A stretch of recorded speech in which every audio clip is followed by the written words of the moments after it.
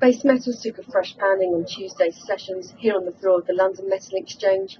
All of the metals slipping deeper into negative territory. Copper fell to a five week low, but nickel bore the brunt of the downturn. It fell to its softest level since July 2009.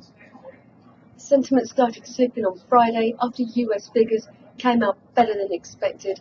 While this was good for the US economy, it did mean that traders became increasingly concerned that the US Fed will now start to ease back on monetary easing measures, which would be bearish for the complex. Additionally, we had some data coming out over the weekend from key player China. This came out mixed. Growth was not as strong as expected, and this has also dampened concerns, particularly in terms of metal demand.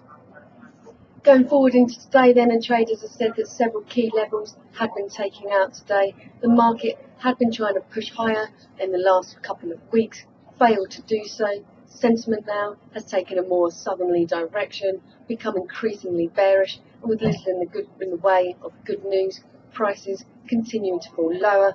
And traders have said we may see, if copper breaks under $7,000 per tonne, we could see levels of $6,800 per tonne.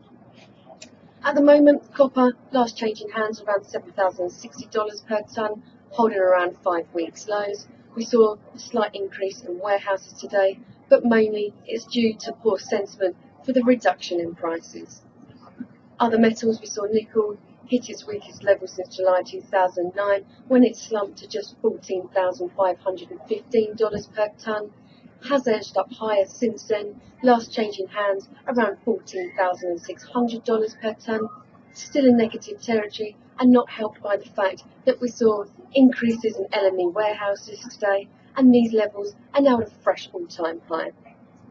Aluminium and zinc have both fared well the past week, however, were not immune to the downturns.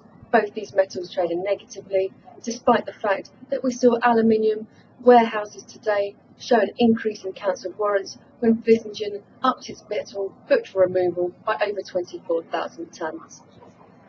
For the rest of the day then we've got little in the way of data releases scheduled for release, so markets are expected to remain technically led, could see a choppy day session as we head towards the close.